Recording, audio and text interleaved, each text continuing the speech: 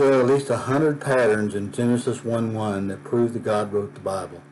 There are 14 verses in the Bible that tell us that God did put patterns in the Bible and that he meant for us to find them, that they would prove that he wrote the Bible. I read those the other day.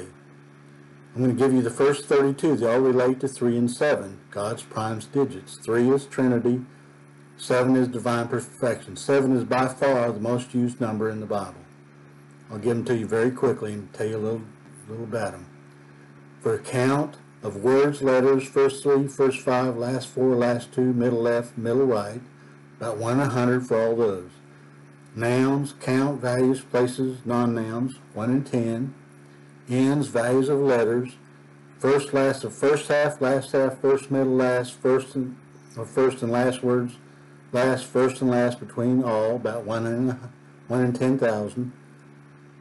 The first three words, total of place, total odd, even order, 1 in 10.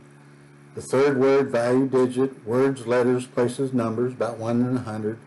And position of value, place, plus times, times plus, times over, and verse of times times, 1 in 10. If you add up all those probabilities, it's about 1 in a trillion. This did not happen by chance.